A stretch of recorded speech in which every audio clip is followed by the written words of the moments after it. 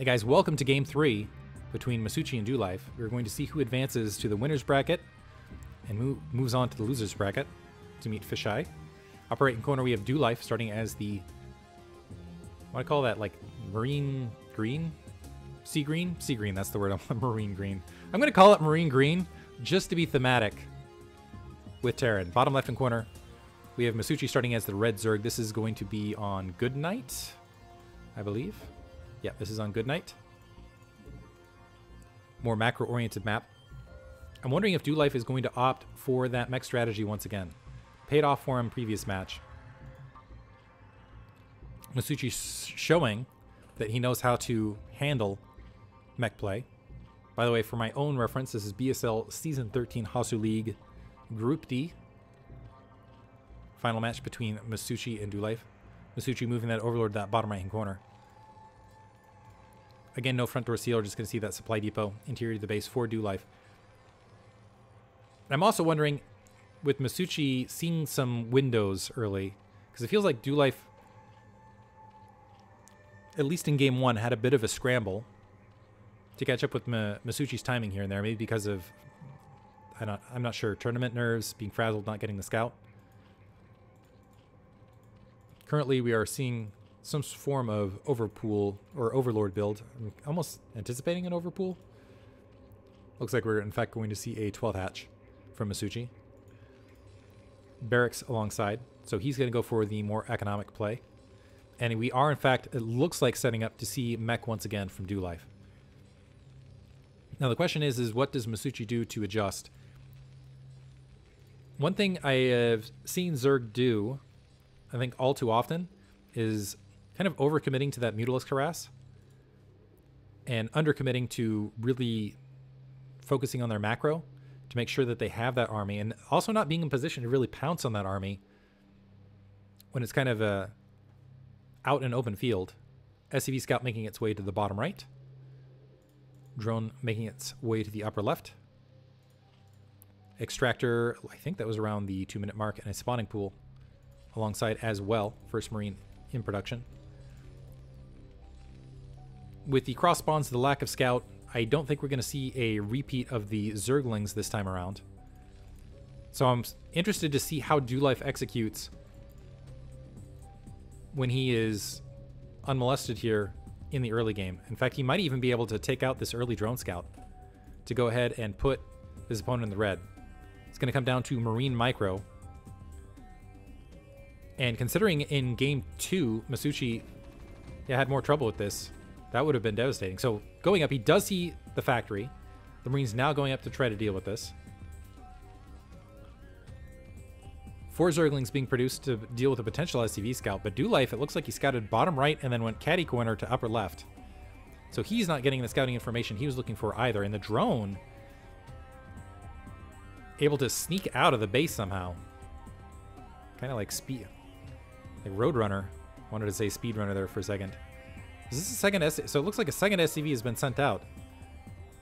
I'm curious if this was a mistake or just, what's going on here with this. So still no scout, but honestly, Do Life with his build up, uh, as long as he's not getting ling flooded here, he's got all the information he's looking for. Dropped that command center, and he's going to be able to get that scouting information with this vulture as it moves catty corner across map. Sunken colony being plopped down. Masucci saturating that natural expansion and has that lair up. And again, Armory in production. I do believe this time around, Do Life should be in a much better position because he's just uh, outside of having these multiple scouting SCV out of position, which slowed his economy down a little bit, but nothing like having all those Zerglings in his base previously. Vulture actually wandering in, gonna get a Zergling kill. It's gonna get taken out really rapidly. Oof, that hurts actually. Because that opens up the map for Masucci to potentially threaten this front door. Second Vulture moving out, potentially deal with those Zerglings midfield. Machine Shop being plopped down. Natural Expansion is up. Or will be up in just a second. And Masucci dancing with a lack of vision here to make Do Life's life a little bit more challenging. The Zerglings getting some free hits as a result. Looks like they are going to be wiped out otherwise, but getting some peck damage. the midst of this, Spire halfway finished in the main. Armor 1 immediately being upgraded. And the first few Goliaths are taking the field. Two Marines here, and it looks like Do Life setting up to go ahead and grab a much more rapid third factory. Uh, oftentimes, earlier Hydralisk Den here from Masucci, oftentimes just having this Vulture threat on the field that delays taking an additional third because the drone has to get there.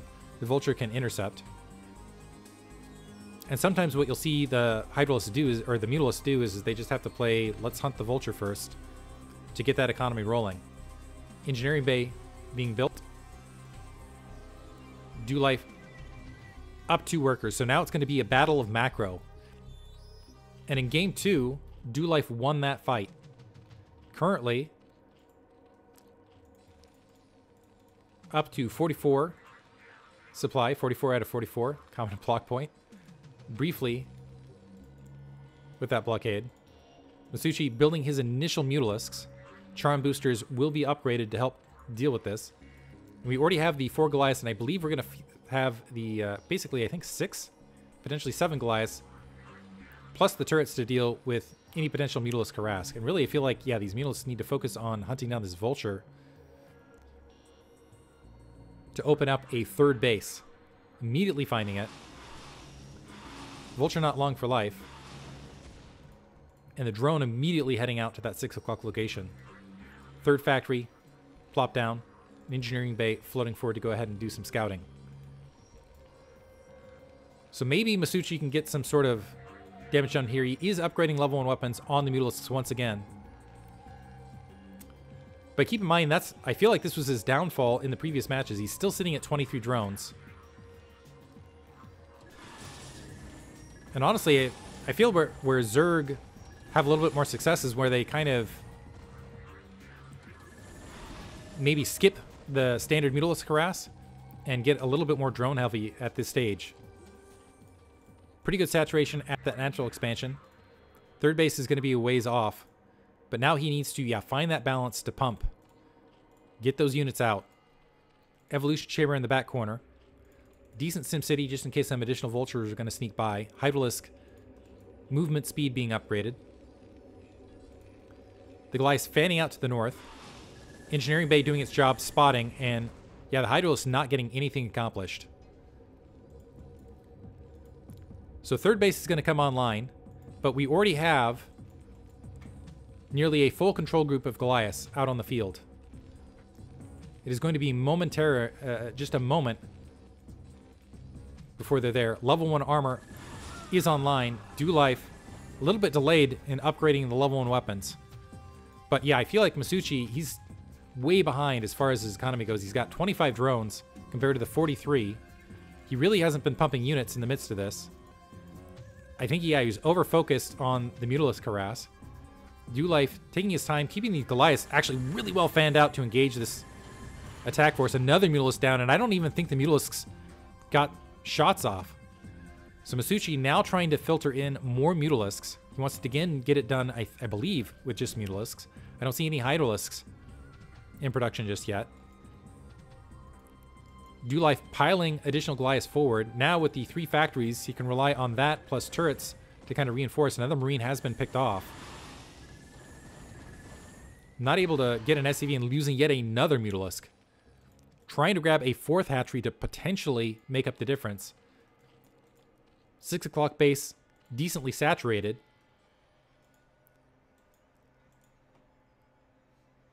Nine Mutalisks floating around. It looks like another grouping, and I think Masucci's just might be uh, being overly aggressive at this stage.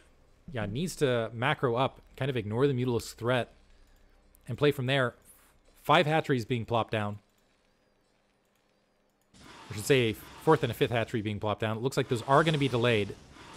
One thing Masucci doing a good job of is these Mutalisks are forcing these Goliaths back because they are not super mobile, but this is turning into a trap. You can see Goliaths peeling off to the north. They want to catch these Mutalisks as they're coming across and are able to do so and get a barrage picking off one there. But critically, Masucci finding time to continue to build additional Hydralisks in the midst of this. And he might have a sufficient army at this stage if he can group it together and engage. Second control group of Goliaths going up to greet. However, the Mutalisks are just getting pummeled. They need to preserve health. So we have Hydralisks starting to filter in. The Goliaths going ahead and popping up and checking that 9 o'clock base momentarily. They're going to be able to get a free Overlord potentially. But this is just time that he's giving to his Zerg opponent to macro up. Currently has overall macro lead. Engaging before level 1 weapons is done from Do Life. The Hydralisks, this is a much better engagement situation for Masucci. If he can just focus fire. Second grouping of Hydralisks grouping up. The Mutalisks attacking overhead. You can see where the split fire is happening. The Goliaths retreating to the high ground. There's the misfire shot there. Some Hydro... Oh, unfortunately, is I'm not sure if that was an intentional peel off or not. If there's just attack move off location, this might be intentional from Masucci to go ahead and do a split attack. He feels like he has sufficient army to punch through. So you now regrouping. No, I think that was just, yeah, misguided move. And Do Life losing the Goliath on retreat. Now all of a sudden Masucci with a death grip of an army can just pummel this natural expansion. Are there siege tanks? There's a single siege tank moving out. I don't know that it has siege check yet, but I do not believe this is going to be sufficient to stem the tide. Masucci moving in, focusing that siege tank down very rapidly. More Goliaths grouping up. Keep in mind this is five factories worth of production, so it's not over yet. And it's going to be close location. The Hydralisks are stemming forward, so Masucci wants to win this here. The Hydralisks are able to get up on the high ground. A siege tank has been produced, so that Do Life needs to be very careful microing this to win this fight so he can get purchase back on that natural expansion. Buy himself some time, hold that ramp, and Masucci now backing off, and we have a match. The Hydralisk still trying to pressure that natural, but not a great situation for Do Life. Do Life expended a lot of troops. More Hydralisks pressing forward for Masucci, doing a good job macroing behind this. And he's just going to keep that Goliath count small, doing exactly what he needs to do. Yeah, don't let it get large. Don't let it become the big, powerful, overwhelming force. Siege Tank morphing it. Looks like it is picked off with two volleys of Hydralisk Fire, level 1 weapons kicking in for Masucci. And Masucci now has the high ground. That is going to be GG. Masucci recovering after game two. Hope you guys enjoyed it. Masucci moving on to the winner's bracket. Do Life moving to the loser's bracket, where he's going to have a tough match versus Fisheye. Hope you guys enjoyed it. Thanks for listening.